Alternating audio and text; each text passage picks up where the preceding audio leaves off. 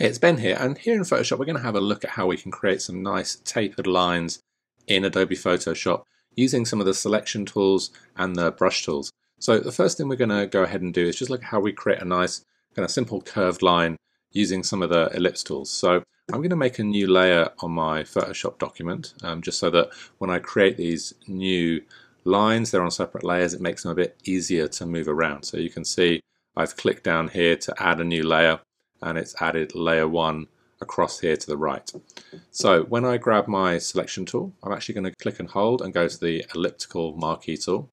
And I'm just going to stretch out an ellipse, nice and long, and then I'm going to grab my brush tool.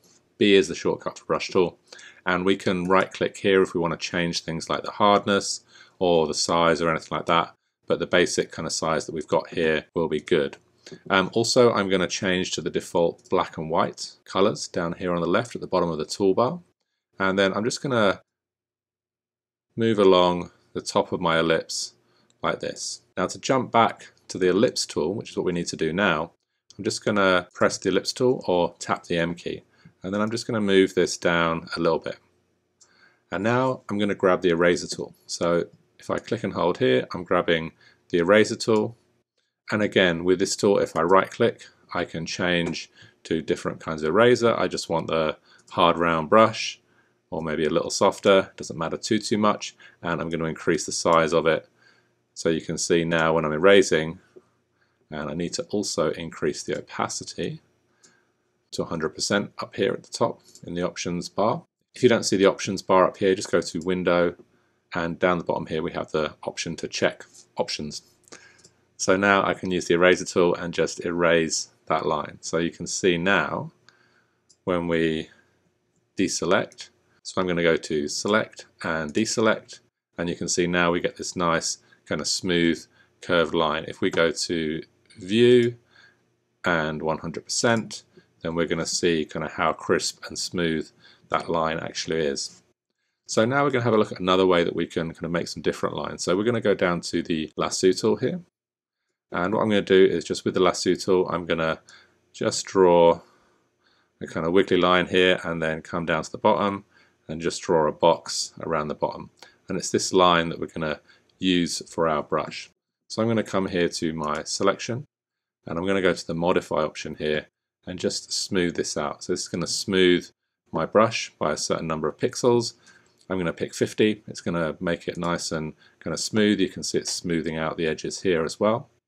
And then I'm going to do the same thing. So I'm going to grab my brush tool and then I'm just going to move along the top of this line and then I'm going to come back to the ellipse tool or the polygonal lasso tool and then I can just move this down a little bit and at that point I can then just make sure I'm not crossing any of these lines underneath. I can grab my eraser tool or tap E to grab the eraser tool and then again just erase that so you can see again we're able to get that real nice kind of smooth line tapering a little bit and when we go to select and deselect you can see we've got this nice kind of smooth line nice and tapered at the ends and we've got a nice line to work with there. So for this last method we are going to come to the pen tool. Now the pen tool here allows us to draw smooth lines in Adobe Photoshop so you can see from the example here that when we click and hold we can kind of make these smooth lines and the key here is that we're making a path with our pencil rather than a shape. So if we grab the path, then we can click and then click and hold to make that line nice and smooth. Click and hold. And when you're starting to work with this, you know, just get used to moving this by a little bit. So the anchor point here is where the line curves. And then these two little handles define the curve as we're drawing it out. So you can see we can draw a nice smooth line.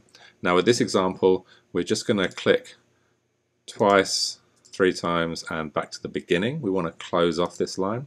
And the reason is that we're going to come to the paths option here, and we're going to come to our select option down at the bottom. So basically we can turn this path into a selection, which means that we get this nice, super smooth selection here. And again, with this selection, we'll come back to our layers, make sure we have our layers selected. We can grab the brush tool, just tap B, and then I can again draw along this selection all the way down to the bottom there. And then I'm going to grab the ellipse tool which just allows me to really move that selection down. And you can see once we start using that path tool to kind of make these drawings and then grabbing the eraser and increase the size of this using the right hand square bracket we really get these nice kind of super smooth lines. There's a few different ways of making lines in Adobe Photoshop and this really just gives you some different kind of creative options as you're creating those lines but you can see we get this nice kind of smooth line.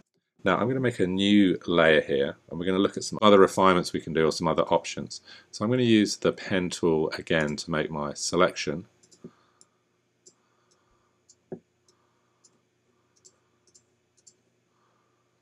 Come back to the beginning and then this time what I'm going to do is make my selection grab my brush tool, can make this a bit bigger, just makes it quicker to get that initial line there.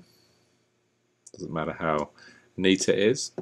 And then instead of actually using the ellipse tool to transform it, I'm going to go to select and transform selection. Now that allows me to move the selection, but it also allows me to transform it as well. So if I come to the edge here, you can see I can change the size of my selection, which just starts to give you some different creative opportunities. And then I can also rotate it as well. So I can start to kind of really think about how that line is going to taper, where the thin bits are going to be, where the thick bits are going to be. I can also hold down the command or control key at the corners and start to stretch out different bits of that line. So you can see we get some nice kind of different effects when we actually use this transform option. So you've got the same transform option you have with objects here except with your line and you just want to make sure that we're not crossing over the bottom of that black area. So if I hit enter there now and then grab my eraser tool, you can see we're going to get some different styles of line that we can create in Adobe Photoshop. So that's a quick overview. Oh, let's delete that. So here's a quick overview of how to create some different styles of line in Photoshop.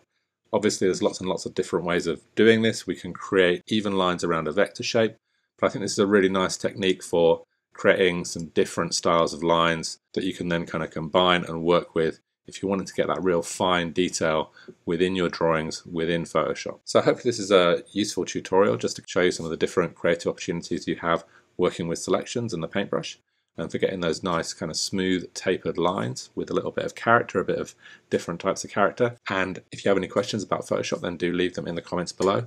Otherwise I look forward to seeing you on the next tutorial.